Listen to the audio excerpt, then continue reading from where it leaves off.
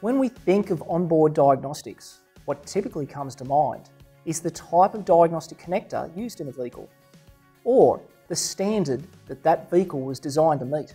But is there more to OBD? Hi, I'm Clint. Welcome to Automate.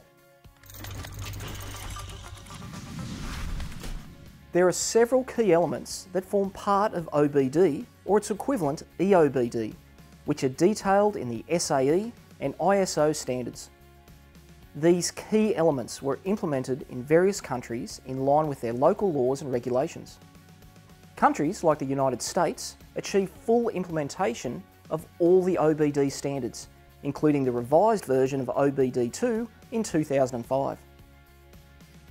These OBD2 standards can be broken down into several key elements, including the protection of key emission components, engine control unit security, scan tool interface and communication requirements, and OBD diagnostic connector specifications.